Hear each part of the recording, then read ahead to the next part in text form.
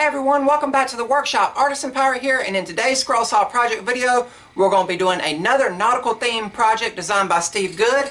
I've already got the pattern printed out here, and the full pattern is actually the sea captain and a boat, but today we're just going to be focusing on the sea captain. I went and had this side of the pattern blown up a little bigger, seeing as I've already cut out a ship and it's very similar to the ship design in this side of the pattern.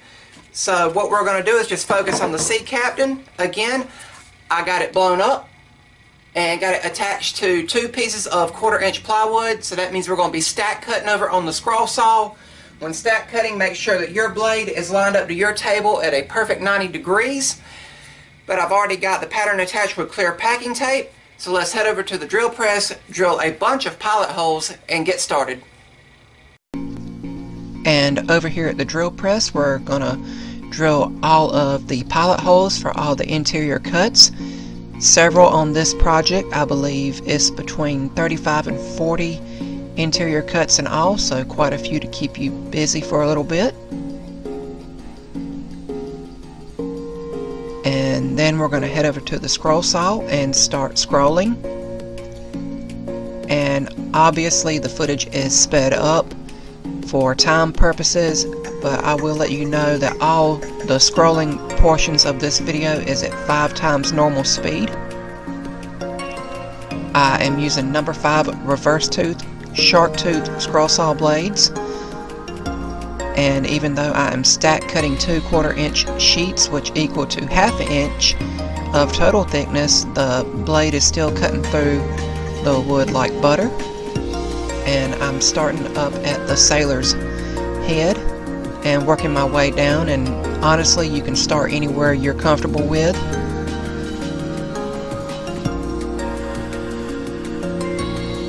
Just taking my time and going through all the interior cuts.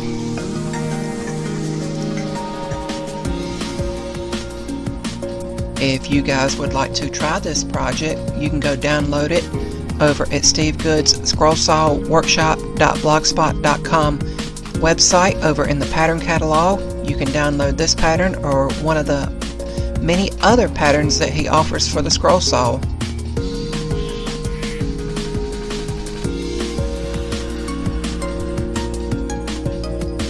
If you guys also like what you're seeing, I would encourage you to like this video, share it with your friends, and maybe even subscribe to my channel.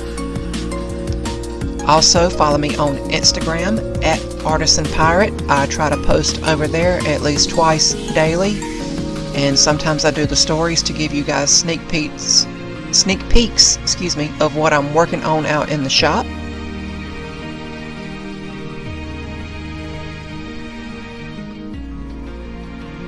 Just working our way down toward the ship's wheel at the bottom of the pattern.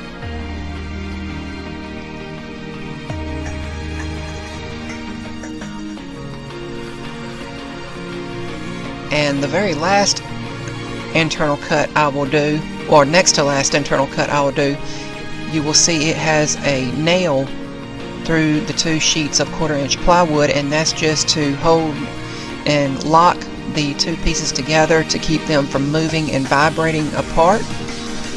Also you will see the little brad nails around the outside of the wood and that's just to hold everything together and keep it stable when stack cutting in this next cut, which is the final inside cut, I'll show you the little nail in the center. There it is.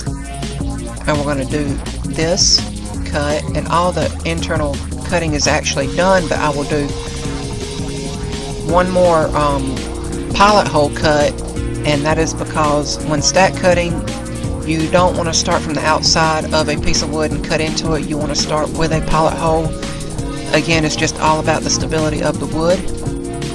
And I actually had to back it up and go the other way here because if I would have swung the piece around, it would have hit my camera tripod. So that was my reason for backing it out and turning around. But then when we get back to the pilot hole, I will cut through the wood and then all of the actual scrolling for this project is done. Now over here on the table, we're taking the piece apart and there you see the beautiful stencil we got and also two beautiful scroll saw pieces and we're going to hit both pieces front and back with a high grit sandpaper on the palm sander and give them a good sanding and I'll always do more sanding off camera and then for this video the project was done.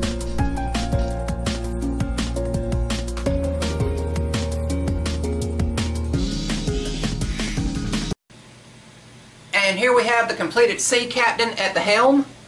I think it turned out real good. The quarter inch plywood always cuts extremely smooth over on the scroll saw. I love the design and as a result of stack cutting we got two of them and also as a result of stack cutting and sandwiching a piece of poster board in it we got a stencil for later use. These would be good for anyone that does airbrush or if I want to do these again I can just lay the pattern on a piece of wood put a light coat of colored spray paint on it and then I'm good to go. I don't have to waste time running in back and forth to the printer printing out stuff and wasting ink. These are always neat to make and you can get huge pieces of white poster board for a dollar at the dollar store for I think three for a dollar. So it's very inexpensive to make those. But here is the completed Sea Captain again. Great detail in it. I really love it. This is going to go in my room or I might finish both of them and put one in my room and then give one to my mom for her living room. But I think it's going to turn out awesome. All that's left to do is finish it. You guys know I don't like to finish a lot of projects on my videos. Well, I do, but I, I most of the time don't because I like for you guys to interpret how it should be finished. I don't want to finish some and then everybody be like, hey, I've got to finish it the way he done it. So leaving it off at this point. But I hope you guys like it. I know I do. That is about all for this video. It took me an hour to scroll that over on the scroll saw and that was stack cutting so I got two beautiful projects for the, basically the time it would have took to do the one and that's awesome. But again, that's about all for this video. Remember guys, if I can make it, so can you. I'm the Artisan Pirate. Take care, and I'll see you guys real soon.